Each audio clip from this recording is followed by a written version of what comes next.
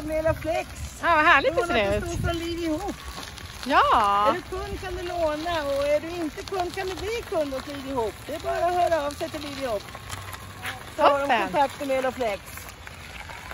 tackar tackar. Ha det bra. Okej, okay, hej.